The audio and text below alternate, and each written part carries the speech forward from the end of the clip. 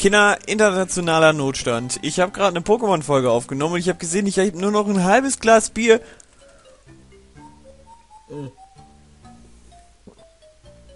Gar kein Bier mehr im Haus. Scheiße. Dann eben nicht. Dann machen wir das ohne. Wir wollen mal ein bisschen clean. Was war das denn? Warum kriege ich eigentlich jetzt schon wieder irgendwelche Mails? Ich hab... Leute, unterzeugen. 20 Sekunden. 20 Sekunden. Unterzeugen. Warum? Warum so schnell? Was soll das? Ich will doch nicht immer hier Beratung spielen. Nur weil ich Tutor bin, heißt das nicht, dass man mich 24-7 anblöveln kann. Ah. Nee. Ich habe sogar noch Wochenende. Wir haben den 7.3.2014, 18.24 Uhr, wo ich aufnehme. Also, eine halbe Stunde bevor das Video hoffentlich oben ist. Und ich habe da keinen Bock mehr drauf. Ich will jetzt, ich habe Wochenende. Jetzt ist vorbei.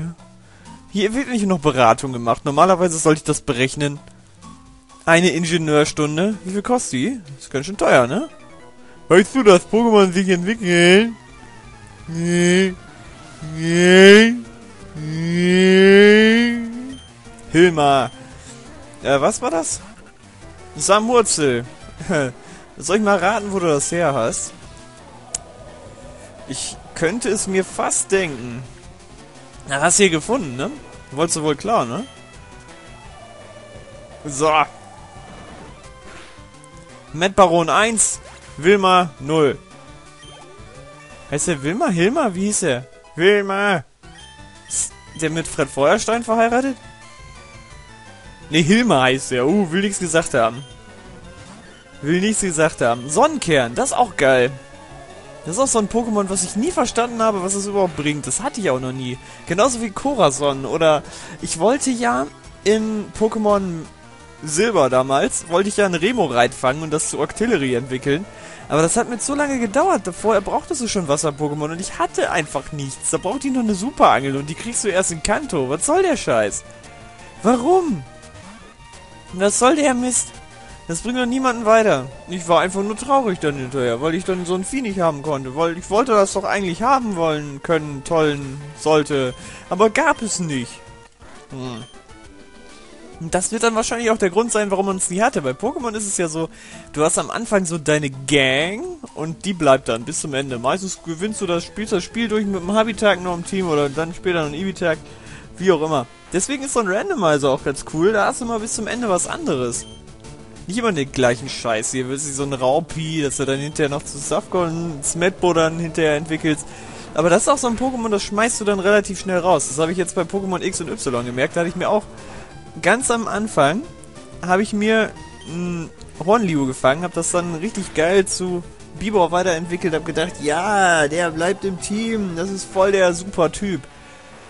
Auf Level 13 habe ich ihn dann ausrangiert. Dann gab es den auf einmal nicht mehr für mich. Ne, dann war aber auch zu spät. Dann wollte ich den nicht mehr. Dann war der schon überholt. Hatte ich auch so komische Feuerviecher und was da nicht alles. Kann sich doch kein Mensch die Namen von den neuen Pokémon merken. Ich meine, wer macht das denn? Hat doch viel zu viel Lateinvokabeln im Kopf, als dass ich mir so einen Scheiß hier merken müsste. Nee. Ja, es ist. Ich gehe jetzt einfach mal weg. Weil Magneton total langweilig ist. Ja, langweilig ist das. Habt ihr schon richtig gehört. Das ist langweilig. Es ist nicht gefährlich, es ist einfach nur langweilig. Letztes Mal hatte ich ja gesagt, dass ich das Vieh scheiße finde und dass es so ein bisschen zu meiner Hass-Top 10 führt. Aber, na. Vielleicht sollte ich das auch mal machen. Top 5 der nervigsten Pokémon von allen. Platz 1 dieses komische Käfer-Pokémon, das Stier, das äh, man nur mit so ganz komischen Attacken angreifen kann. Nin, Nin, ja, Tom, oder wie das hieß. Hey, warte, warum die Eile? Gleich haben wir es geschafft, gleich sind wir durch den Vertania-Wald durch. Und wir haben es gerade mal Part äh, 10 haben wir nur. Was, was, Rudolf? Oh! oh, Rudolf. Jetzt greifst du aber mal ganz tief in eine Trickkiste hier, wa? Ich sehe das so kommen. Bisher, bisher ist es noch gediegen, so was gegnerische Pokémon angeht. Und wenn es legendäre sein sollten, dann kriege ich sie trotzdem kaputt.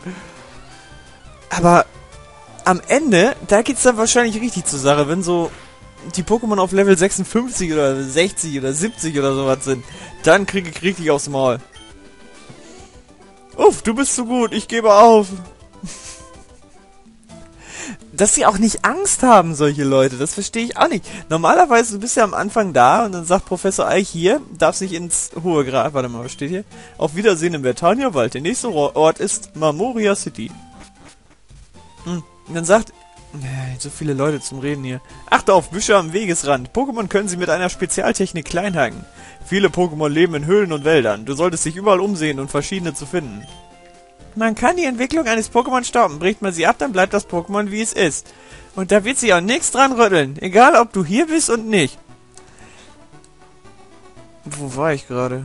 Ja, das, das ist ja gefährlich, wenn die jetzt hier so im Wald, wo Mewtwo's rumlaufen, nur mit so einem, hier, Kabador zugange sind. Das ist doch gefährlich. Hätte ich keinen guten Grund zu. Das ist fancy, ne? Wie kriege ich das denn jetzt? Hm, paralysieren wir das erstmal. Ich darf's fangen, das ist es ja gerade. Ja. Ja. Ja. Aha. So, bevor es mich jetzt kaputt haut, wechsle ich mal lieber auf Cindy. Komm, mach mal was für dein Geld. Ihr habt euch ja beschwert, dass ich Jiraya nicht gefangen habe. Das werde ich jetzt versuchen nachzuholen. Ich habe das Vieh noch nie gehabt. Ich habe keine Ahnung, was für ein Typ das hat und was nicht. Keine Ahnung, null. Weiß nicht, was das kann. Ich mache das jetzt einfach mal so. Und warte darauf, dass ich vielleicht mal eine Chance kriege, es mitzunehmen. Ah, scheiße. Das ist nicht gut. Das ist überhaupt nicht gut, Cindy. Cindy, warum bist du wieder verwirrt? Hast du nicht lange genug auf dem Sofa rumgelümmert, oder was? Muss doch eine, so eine Minute, oder was? Kann ich mir vorstellen. Mal wieder. So, wenn wir jetzt nochmal mit Cindy angreifen, dann ist problematisch. Wie wär's, wenn wir jetzt... Fancy ist mir aber ein bisschen zu risk... Doch, kommen wir zu Fancy zurück. Los, Cindy, zurück. Los, Fancy. Cindy und Fancy. das ist aber auch beides so ein bisschen assi, die Namen, ne? War Mulibets beste Idee, dass wir das Vieh Fancy genannt haben. Ah, Konfusion. Ist gefährlich jetzt. Ich will es ja nicht kaputt hauen, ne? Deswegen, jetzt haben wir es im roten Bereich, jetzt ist cool. Jetzt kann ich mal auf, auf Cindy tauschen. Beinahe schon wieder fancy gesagt. Ja, ist klar, das kann man sich nicht so gut merken, beides. Ah, ja. Jetzt geht's aber los. Okay. Cindy ist wieder fast gut. Okay, ein Pokéball habe ich. Kann ein Girardi mit einem Pokéball zu fangen. Mal gucken, ob es klappt. Vielleicht klappt es ja. Geil! ja, das war ein Wunschtraum von mir. Ich gebe es zu. Ich würde es aber gerne haben. Hätte ich mal letztens hier noch einen Pokéball gekauft. Da ist egal. So, weg damit. Hätte ja sein können, dass wir das hinkriegen, aber so nicht. Ich meine, ich habe die Fangraten so ein bisschen generalisiert. Das heißt, man kann alle Pokémon mit der gleichen Wahrscheinlichkeit fangen, aber vielleicht habe ich das auch nur geträumt. Vielleicht war das ein Fiebertraum. Kann sein. Hier gibt es nur wenige ernsthafte Pokémon-Trainer, aber Rocco, der Arenaleiter von Marmoria City, versteht sein Geschäft. Tipps für Trainer. Unabhängig von der Dauer seines Einsatzes erhält jedes Pokémon für die Teilnahme an einem Kampf Erfahrungspunkte. Unabhängig von der Dauer. Das ist wie Fußball, weil unabhängig von der Dauer, wie lange die mitgespielt haben, kriegen die ja auch Geld. Mit wachsender Erfahrung lernen Pokémon neue Attacken. Jetzt sagt nicht, dass sie jetzt... Kannst du mir nicht sagen, dass sie verschieden Geld kriegen. Das hat auch mit der Einsatzdauer nichts zu tun. Das hat mit dem Namen zu tun. Wenn du einen guten Namen hast, dann kriegst du viel Geld. Wenn nicht, dann nicht. Leute, macht mal die Augen auf. Ihr werdet da verarscht, aber nach Strich und Faden. Meint ihr wirklich, dass sie es schaffen würden, weiß ich, so 90 Minuten lang zu spielen und dann 0 zu 0 zu machen? Ganz ehrlich, geht doch mal in die Regionalliga. Guckt euch da mal die Fußballspieler an. Da ziehen die dann gegenseitig sich so mit 16, 15 ab oder sowas.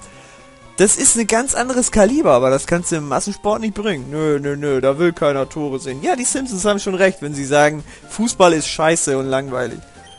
Manche Attacken kann ihnen jedoch nur ein Trainer beibringen. Ja, nicht, wenn man es selber spielt, das ist ja wieder was anderes. Aber so diesen Massensport, das, das ist doch alles abgekartet. Die lasst euch auch noch verarschen und gebt dafür Geld für Fanartikel aus und so weiter. Das ist, ist ja immer niedlich. Aber macht, macht, macht, ist nur gut für die Wirtschaft. Konsum ist immer super. Pokémon sind einfacher zu fangen, wenn sie verletzt sind oder schlafen. Trotzdem gibt es keine Erfolgsgarantie, das habe ich ja gesehen. Ich sehe das ja kommen, dass sie nur solche Viecher sind, die ich nicht fangen kann. Sowas wie Jiraki oder die anderen da, Mewtwo und so weiter. Nö, nö, nö, du brauchst gar nicht deine Pokebälle benutzen. Hey, weißt du, was ich hier mache? Ja. Stimmt, es ist harte Arbeit. Nee, nee, jetzt ernsthaft, was machst du da? Ich versprühe Schutz, um Pokémon von meinem Garten fernzuhalten. Mamoria City, die steingraue Stadt. Ist dein Garten. Das ist auch lustig. Weil da noch nicht mal ein Haus dran ist, das ist ein Schrebergarten. So, jetzt möchte ich weitergehen. Pokémon-Phänomen Nummer 1. Du darfst nicht weiterlaufen, bevor du nicht mit irgendjemandem gesprochen oder irgendwas erledigt hast. Roku ist ständig auf der Suche nach neuen Herausforderern. Folge mir. Ich will da nicht hin. Stellt mal vor, das wird einer mit euch machen. Der wird euch einfach, ihr wollt irgendwo hingehen, er zieht euch mit, woanders hin. Ey, den würde ich so zusammenschlagen. Der wird seine, eine Woche lang wird er seinen eigenen Namen nicht mehr kennen. Hallo? Recht an eigener Person und Freiheit und all sowas? Lass mich mal in Ruhe, du Arsch. Wenn du Mumm genug, wenn du genug Mumm hast, dann versuche dich an Rocco. Oh Gott, den kennen wir ja noch von damals. Rocco mit Jen Kleinstein. Gerüchten zufolge sollen die Pipi vom Mond stammen. Nachdem der Mondstein auf den Mondberg fiel, sind sie erstmals aufgetaucht. Wow. Pipi ist ja so ein bisschen... Die Gengar soll ja die Schattenseite von Pixie sein, oder wie war das damals? Ich meine, ja. Da gab es doch irgendeine so Theorie, die ich immer wieder anspreche und nie zu Ende führe, damit irgendjemand einen Grund zum Kommentieren hat. Warst du schon im Museum? Nein. Wirklich nicht. Es ist aber ein Besuch wert. Ah! Ich kann selber laufen, ich sitze nicht im Rollstuhl. Es ist gleich da drüben. Man muss zwar Eintritt bezahlen, aber das ist es wert. Sag mal. Sind die hier alle... Die sind alle verstrahlt hier. Kannst du mir nicht erzählen, die sind alle doof. Gehen wir mal hier rein. Und du, bringst du mich auch irgendwo hin? Wenn man seine Pokémon eifrig trainiert, können selbst schwächere Pokémon für Überraschungen gut sein. Ein zwielichtiger alter Mann hat mir dieses seltsame Pokémon angedreht. Das ist vollkommen schwach und hat 500 Dollar gekostet. Hallo, kann ich dir behilflich sein? Ja, was machen wir denn? Zwei Pokebälle. Ist doch... Ist doch... Das machen wir. Ist schön. So. Können wir in der nächsten Runde wieder was fangen. Versuchen. Dann hinterher nicht schaffen. Ja, so habe ich mir das vorgestellt. Ah. Hallo. Nidoran, sitz.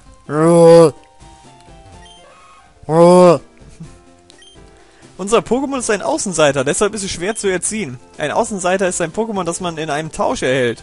Es entwickelt sich rasch, doch im Kampf kann es vorkommen, dass es unerfahrenen Trainern nicht gehorcht. Wenn wir doch nur ein paar Orden hätten. Habt ihr aber nicht. Habt ihr nicht. Wenn ihr jetzt Geld habt, was kosten so Eintritte in so ein Museum? Dann gucken wir uns das auch nochmal schön an hier stehen da? Memoria City Wissenschaftsmuseum. Hallo. Ich würde gerne hier rein. Für Kinder kostet der Eintritt 50 Dollar. Jawohl, dann machen wir noch mit. Bitteschön.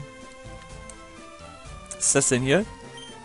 Aerodactyl-Fossil, ein urzeitliches und seltenes Pokémon. Das ist ein außergewöhnliches Fossil. Kabutops-Fossil, ein urzeitliches und seltenes Pokémon. Oh Gott! Ich hätte gerne ein Pikachu. Es ist so furchtbar süß. Mein Papa soll mir eines fangen.